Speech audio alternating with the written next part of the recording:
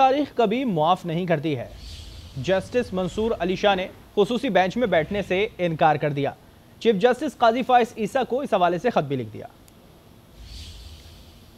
Supreme court के senior तरीन जज जस्टिस मंसूर अली शाह के तहफात खसूसी बेंच में बैठने से इनकार कर दिया। जस्टिस मंसूर अली शाह ने चीफ जस्टिस काजी फाइज ईसा को खत लिख दिया। खत में लिखा कि लोग हमारे अमाल देख रहे हैं। तारीख कभी माफ़ नहीं करती।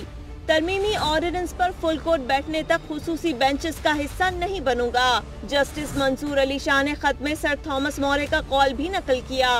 खत चीफ जस्टिस को बतौर सरबरा प्रैक्टिस एंड प्रोसीजर कमेटी लिखा गया। जस्टिस मंसूर अली शाह ने चीफ जस्टिस को खत 23 अक्टूबर को लिखा था, जो अब मंजर आम पर आया है।